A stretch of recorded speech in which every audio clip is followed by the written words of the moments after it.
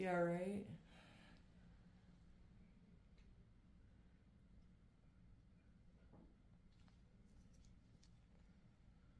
Alright, so that's just going to stay on for a little bit there. Okay. We'll come back to check on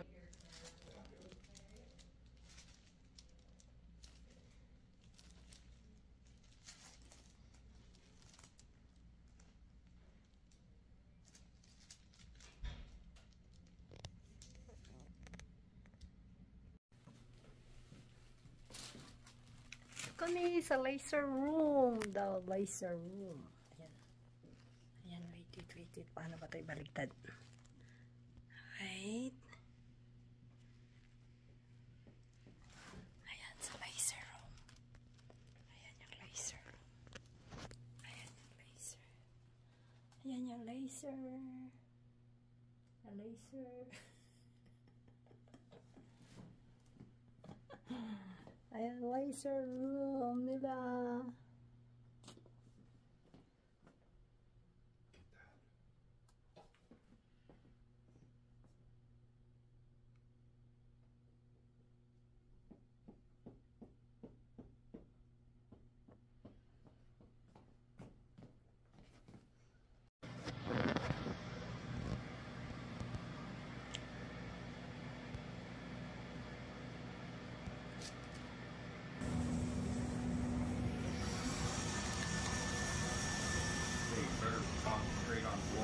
Are you, oops, oh, Okay, take my. yeah, have somebody else video if you're trying to video. Is it videoing right now? Yeah, Okay. Okay. You can. you can take your phone, sweetheart. I got it. I got you. Oh, sorry, sorry. Ayan guys, mag-start na daw mag-stapler sa akong nawong. Okay, Adili dahil sa akong lips. Sa dog bites lips laser. Mura jud siya gi-stapler. Daghan siya ka ng murag needle nga gagmay. Tapos, kuan, sakit siya pero dili kaayo kay naman siya yung naming gel. Butangan na siya og naming gel. So, dili na siya kaayo sakit. Yan. From lips, yan siya. Dako na siya nga ba, nga kuan.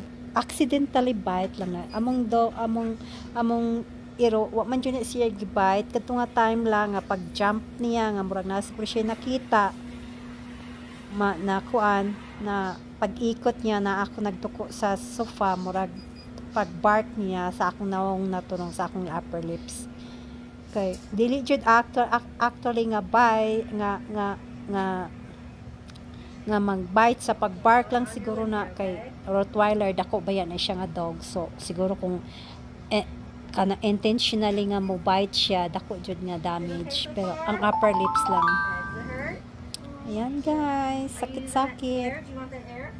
No, no. Oh, okay.